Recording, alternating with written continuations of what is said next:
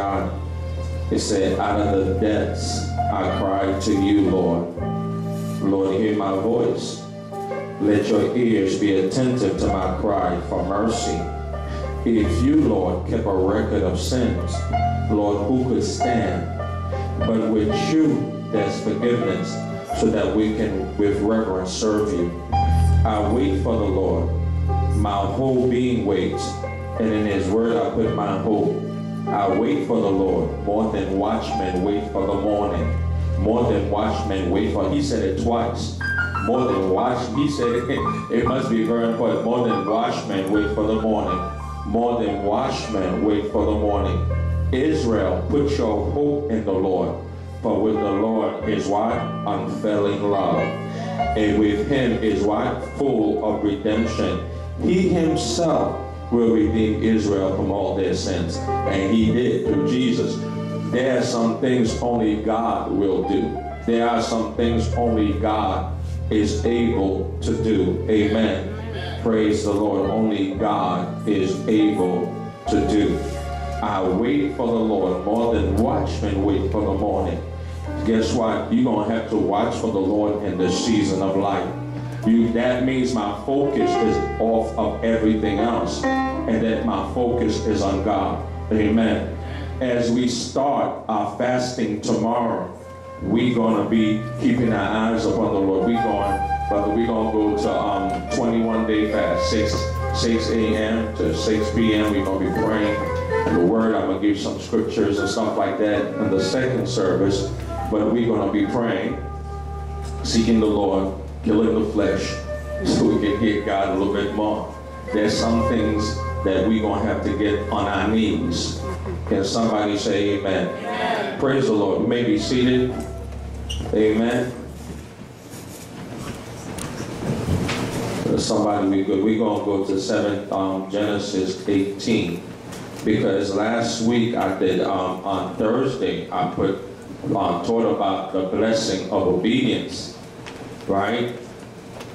And how God came to Abraham and checked them and began to say to them, if you walk in obedience and keep my covenant, this is what's going to happen. This is what I'm going to do for your life.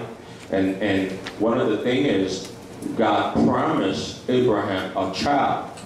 But he, he listened to his wife and went to get Hagar. But God came back. That's the part sometimes when you substitute what God told you because God didn't come fast enough for you. God was not quick enough to make it happen. You begin to be your own God and make things happen. And, and you want God to bless that. Because the thing about it, he went to, um, Abraham went to God and he said, may that Ishmael may live before you. And God said, no, no, no, no. I told you that your wife is going to have a son. Amen. I told you, you, you, you know, the, the child's going to come from her. Amen. So when you look at it, we can't substitute God's blessing because if God allow you to substitute, that means that God is a liar. And we know that God is not a man that you should lie or a son of man that you should repent. If he said it, guess what's going to happen? It will surely come to pass. God don't work with substitutes. Amen. The only time substitute come if, if, if it's God's will. Amen. If it's God, if he told you he gonna do something, guess what? Surely he gonna do it. And guess what? He got the promise at 75. And guess what? God came knocking at the door at 99 years old. It's never too late for God to bless you. And I know that you've been waiting a long time, but it's never too late. And I believe this is where we picked up on um, Genesis 18. Amen. There are certain things that's not going to happen until you walk into obedience. Mm-hmm. What is obedience? Well, you can't say obedience is something right. Obedience is, is doing what God calls you to do.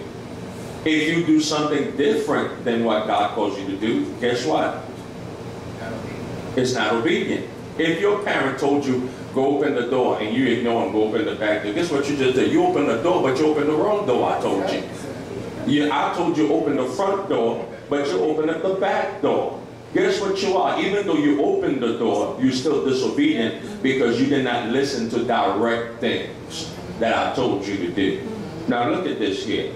Genesis 18. I'm not going to be long before I know preach on, but I, I'm ready reserve all my energy for the afternoon. Really, because there's really something I'm talking about that's really going to change your life today. It's really going to change your life. Brother, I'm excited about this teaching. Really. There's a blessing that you don't even know about. I don't even think you're aware of it. I don't want to give you the name. I don't want you to go check.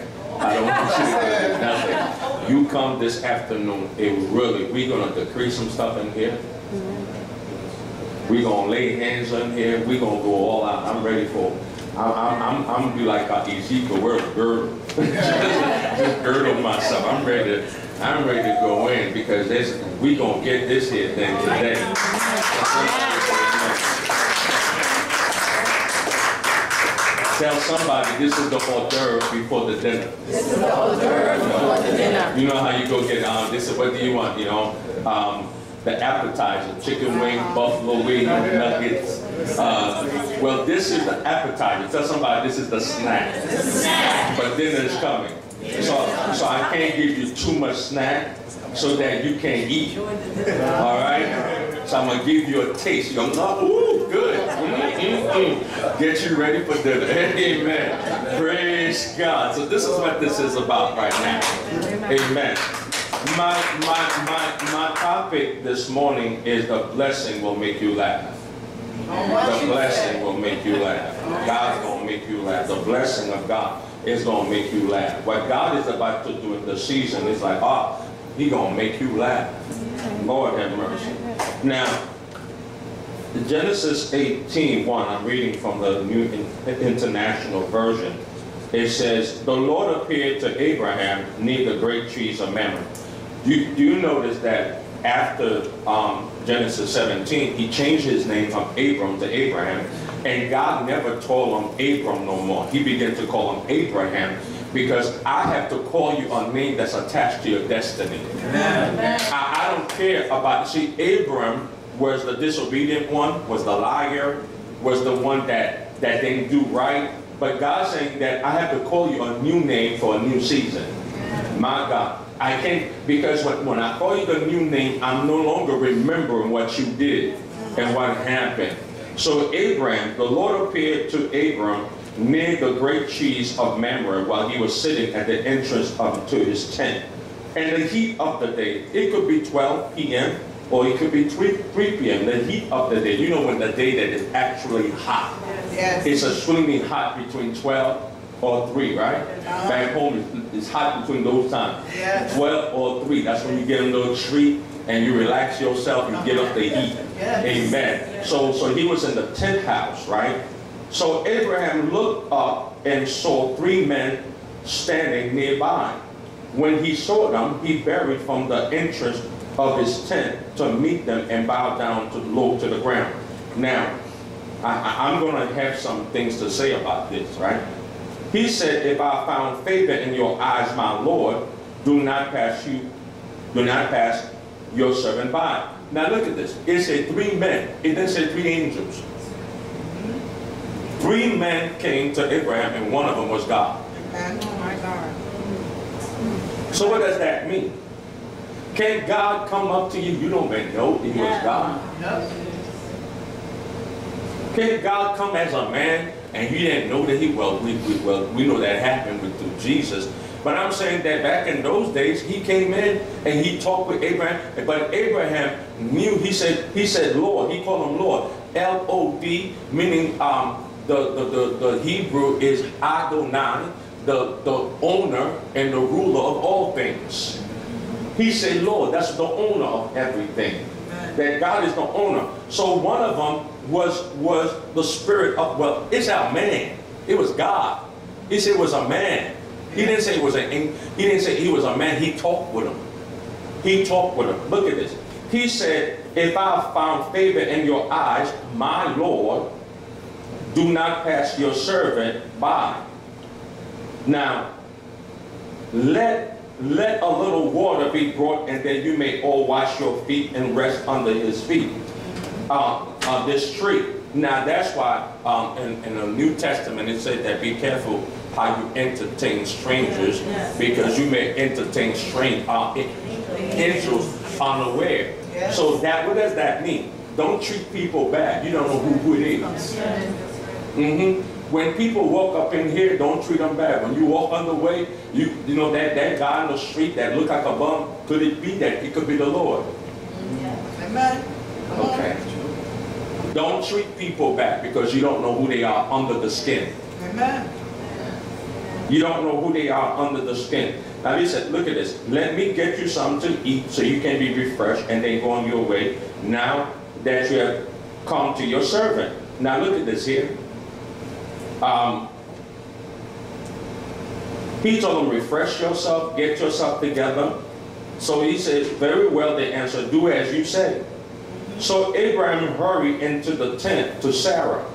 Remember that at this point, he no longer called her Sarah. Guess what I said on, on, on, on, on, on, on, Thursday? If he go up, she got to go up. She can no longer be Sarai. She got to be what? Sarah. So now he called her Sarah. He never called her what she used to be, but what she is. He said, quick. He said, get three seahs of the finest flour and knead it and make some, some bread. Now I want to hear this, right? That's why, you know, you got to be able to listen to direction. What if she said, well, I'm not going to make nothing. You go make it. Uh-huh. You go, Abraham, you go make it yourself. He said, okay. Then, then he ran to the herd and select a choice tender calf and gave it to a servant who hurried to prepare it. He then brought some curds and milk and the calf that had been prepared and set these before them. While they ate, he stood near them under a tree. Now look at this here. You got to know how to, you know, even in a place of worship, you got to know how to serve the presence while he's in the presence of you. Uh-huh. You got to know what to do with the Spirit of God when God's Spirit come in. And you notice Abraham that, that he didn't get all up on his face. He stood afar off and watched them. Sometimes you got to watch what God is doing. You got to observe the presence. You got to be able to, to just enjoy what God is doing. It's not about going crazy, but just being in the presence of God. Let Him do what He got to do in your life. Let Him bless you. Come on. Let Him touch you. Let Him do what He got to do with you. Sometimes just allow Him to be who He is to you. My God, have mercy. And He said, What? Look at this. After He have served. And that also could look at the sacrifice. How you sacrifice before the Lord. What do you do in the present? We all know the sacrifice we got to give God is a sacrifice of praise. What do you do when God's presence is not place that's close to you? What do you do when God is near you? Do you just shut your mouth or do you give him the praise? Do you worship him? They were serving God. They were doing all kind of things. But he said, where is your wife Sarah? They asked him. He said, she's there in the tent. He said, right? Then one of them said, I will surely return to you about this time next year, and Sarah, your wife, will have a son. God is going to give you something you never even asked for. See, this thing that, see, God is the one that came in after the sacrifice and said, I'm, I'm going to give you a son by this time next year. And I don't know what you come here that you believe in God for, what you're asking God to do. But I come here to tell you by this time next year, if it's a son, if it's a house, if it's a car, if it's a promise, God is about to do it for your life. And I don't know that you believe in God. Because this thing that God is doing is not even me that asks for it. Because you have to understand that it, he could never have no child in the beginning. But God is the one that say, I'm about to do this thing for you. I'm about to bless your life. You didn't ask me to do it, but I'm the one who's going to do it to show you who I am. This promise I'm about to give you is too big for you. It has nothing to do with you. You cannot do it on your own. You do not have the ability or the know-how to be able to bring to pass what what I'm being put in your life. He said, I'm the one who introduced it. It was not even in your mind. You couldn't even think about it. You couldn't even do it. But God said, by this time next year, miracles will be seen. Amen. By this time next year, there is something that God is putting in your heart. There's something that God is putting in your spirit, and you can't let go of it. But God said, I'm going to do it. Because guess what? You have to understand that this thing that put in my heart, you see, there's a point where God, what God tells me, it overtakes me.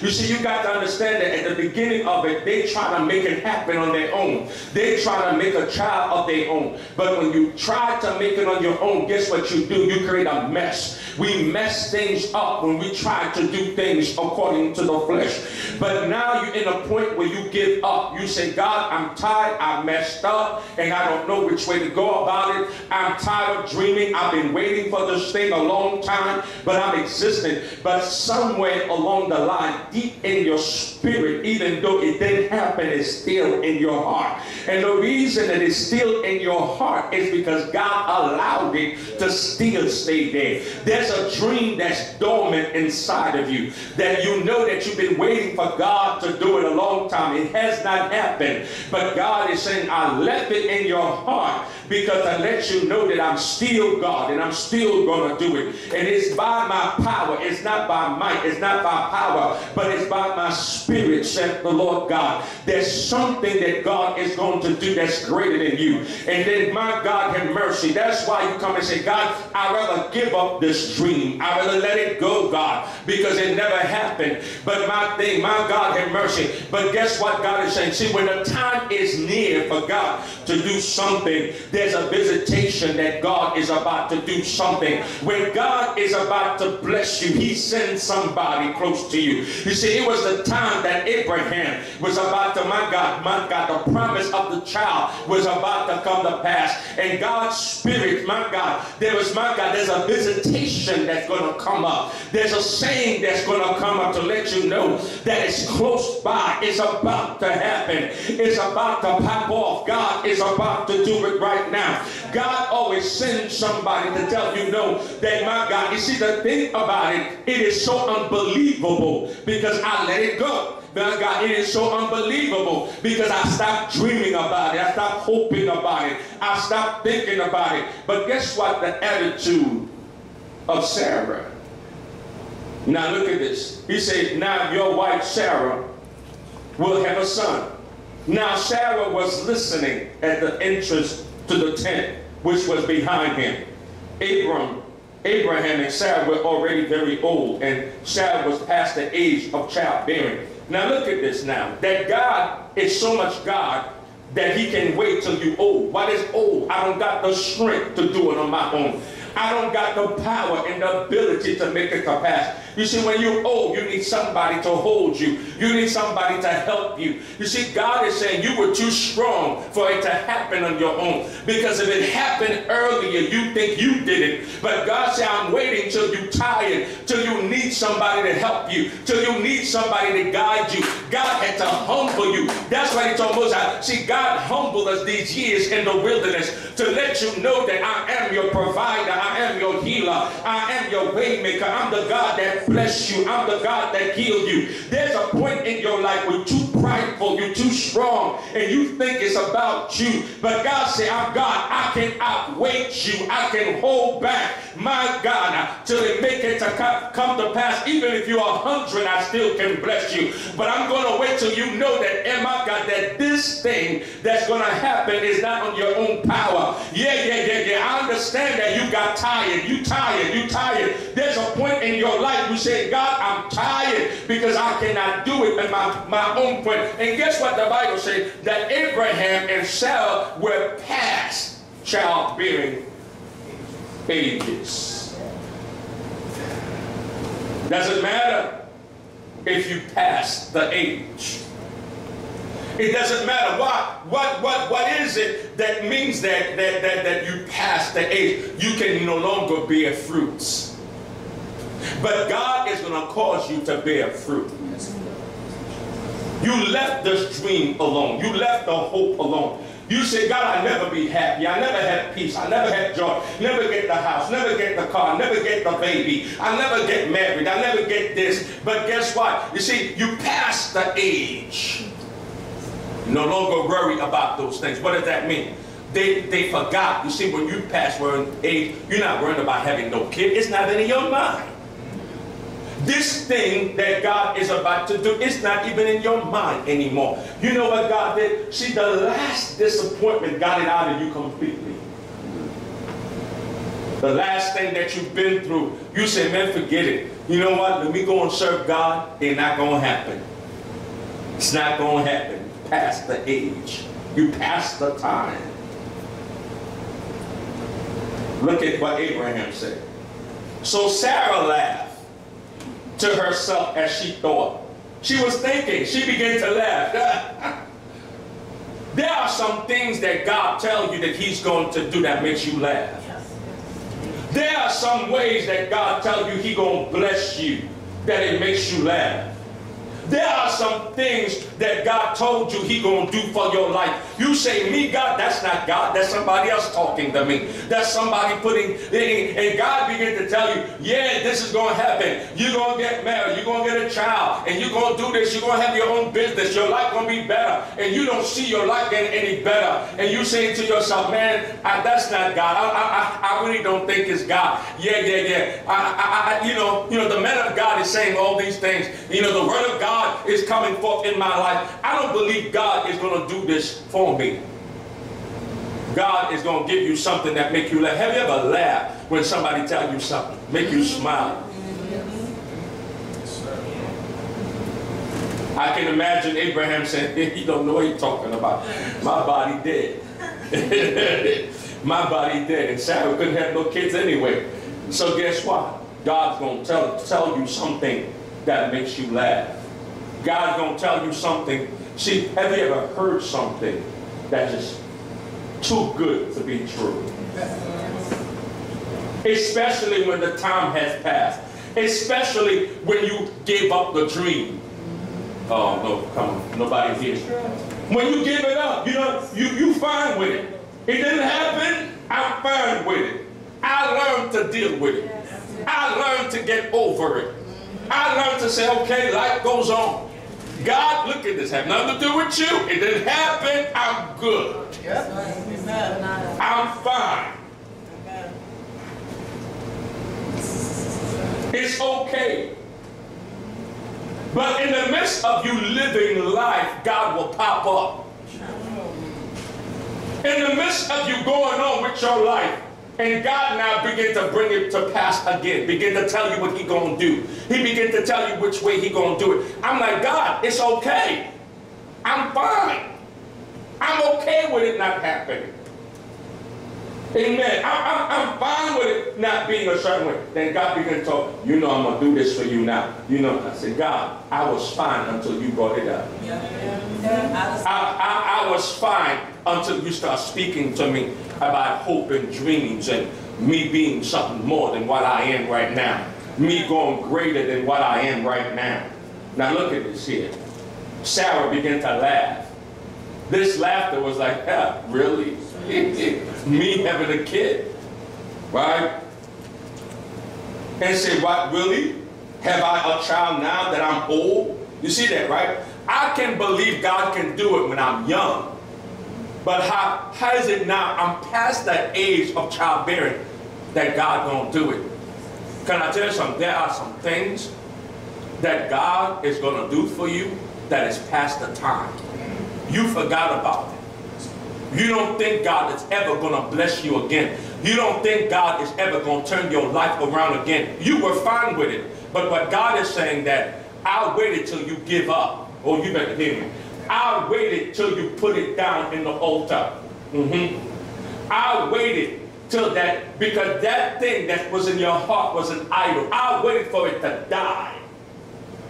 Now it's about to spring forth. Now it's about to happen. Now it's going to be the time where I bless you. Now it's going to be the time where I heal you. Now it's going to be the time where you have peace. Now it's going to be the time where you got joy. Now it's going to be the time where you financially well off. Now it's going to be the time that doors are open for you. Now it's going to be the time because guess why? Because now you're depending on me and not on yourself. You're depending on my power but not your ability. God is saying now is the time my God, because I'm going to do something that make you laugh. I'm going to do something for you that nobody ever thought that, come on now, I will ever do in your life. They're seeing your pain. They're seeing your tears. They're seeing your broken down. But now they're about to see your resurrection. They're about to see you being blessed. They're about, come on now, they laughed at you because you had the dream and you let your dream die. But now, said the Lord God, I'm about to bless you now. Now I'm about to bring you out. Now I'm about to free you. Now I'm about to do some things. And I know you heard me. And I know, my God, you heard the word that I told you that I was going to do. But now I'm going to bring it to pass. And I know, Kobasaya, now I'm going to break the doors free for you.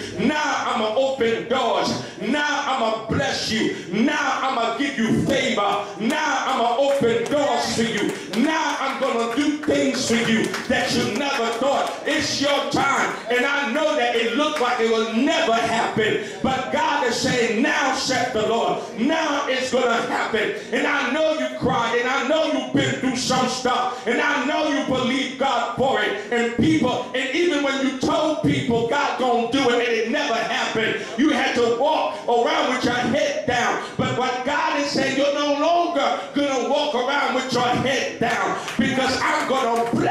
like you've never been blessed before. I'm going to do something for you that makes you laugh right now. I'm going to do something because what I'm about to do for you, you don't even believe it. You don't even know I can do it for you. It's making you laugh about what I'm about to do for your life.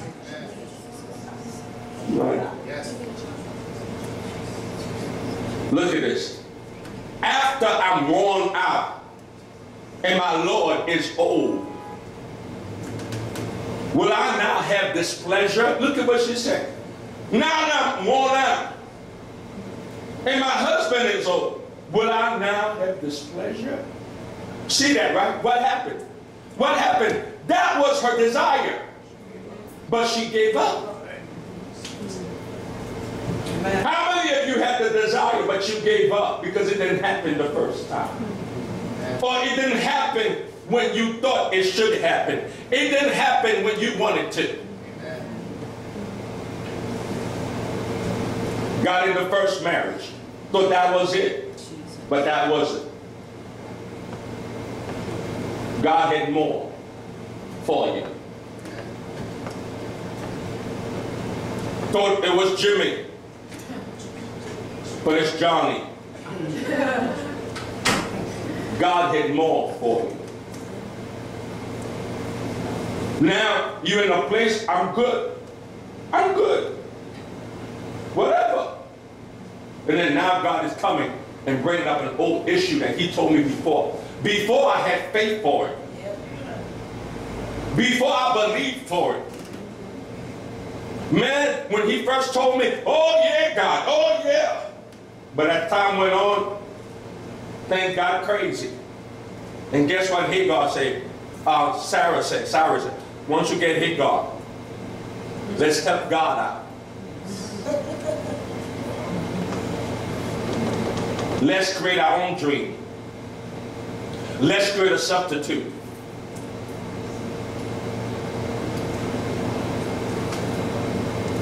That's not the man, let's get another man. I can't have the, the dream one. I can't have the one God told me. So let me grab one that he didn't tell me so at least we can be satisfied. At least I got something because I was shooting up my mouth telling everybody what God said. So let me grab somebody so I don't look bad.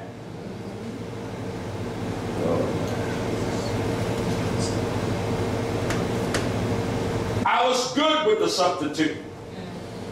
Oh yeah, in verse 17, he said, may that Ishmael live before God. But God is too much God to let you live with a substitute. God wants to give you the best of what he has. Now look at this. Then the Lord said to Abraham, why did Sarah laugh and say, well, I have really have a child now that I'm old? Look at this here. Is anything too hard for the Lord?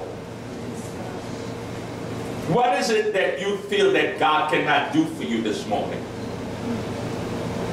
What miracle that you don't think God can, oh God, I don't think I'll ever be happy. Is there anything too hard? Oh God, you can't heal me. Is there anything too hard for God? What is it that you're believing for this morning that you don't think that God can open the doors and bless you and heal you and do all kind of things? Is there anything too hard? Can I tell you something? The church is in a place they don't want to believe no more. Because the last time you believed it didn't happen. But is there anything, the question this morning is, is there anything too hard for the Lord? Is there anything that God cannot do? There anything to hard for God this morning? What is it that you say, I will never dream no more or have hope no more that God cannot do? I love God. I love Him with all my heart. But I'm living in the church with disappointment from the last time I believed. I'm disappointed because last time I believed it didn't happen. I didn't get healed. I didn't get the man. I didn't get the job. I didn't get this. So guess what? God, I'm good. I believe you. It's not your fault. But let me sit here and just exist. I don't want to believe no more. I don't want to have faith for anything no more. I don't want to try anything no more. Because why? Because I don't want to be no longer disappointed.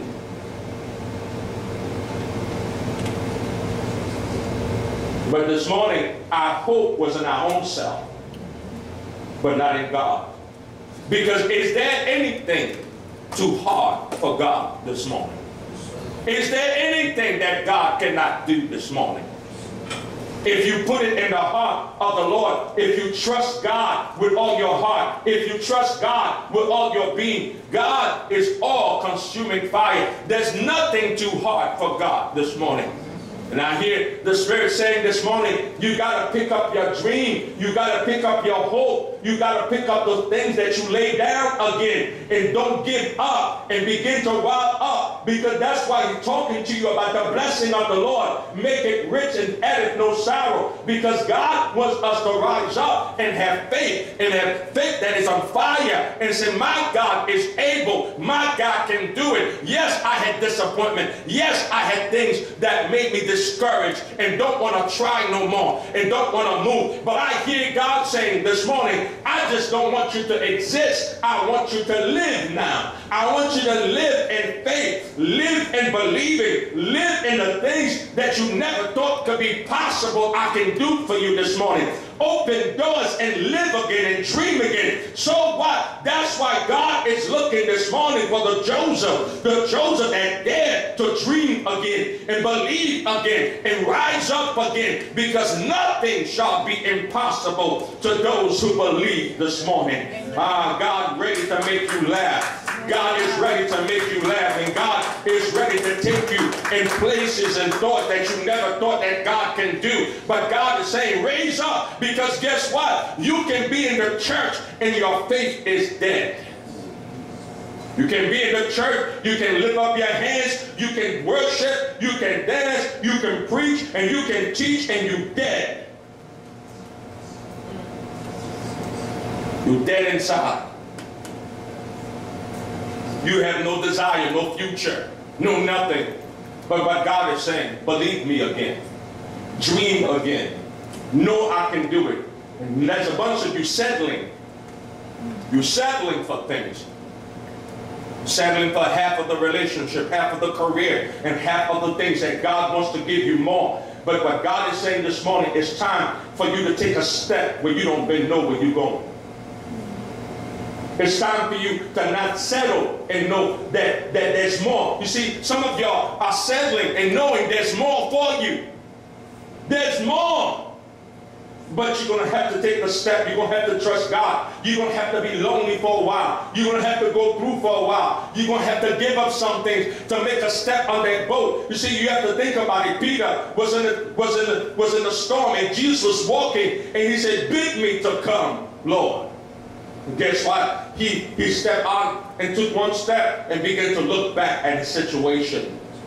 You got to hope again. You got to get up again this morning because nothing is too hard for God. Look at this. I will return to you at the appointed time next year, and Sarah will have a son.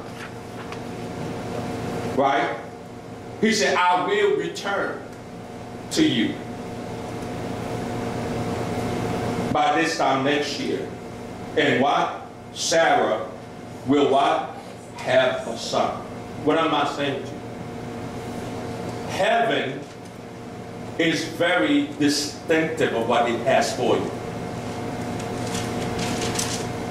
This is a time where God is going to reveal his intention about you. What you're supposed to have instead of what you settle for. This is a time to dream dreams and live to the fullness that God will have you to be. Is it the time to do the things that you could never do? This is a time to step out on faith like you've never stepped out before. This is a time to just trust Him and believe Him, knowing that He got you in the season, knowing that He has your back in the season. It's a time to start the business. It's the start, time to go back to school. It's the time to start the career. It's the time to do all those things that you believe in God to do. And knowing that what? He has. Look what Sarah said. Sarah was afraid. So she lied and said, I did not laugh. But he said, yes, you did laugh.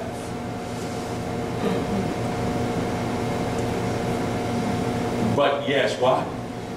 You did laugh. So guess what? God and the season is going to make you laugh. It doesn't matter if you don't believe it, Sarah. It's still going to happen. Because I have a purpose and I have a plan for your life. I got a direction for your life. I know which way you're supposed to go. I know which direction. You see, God has already said it more for you.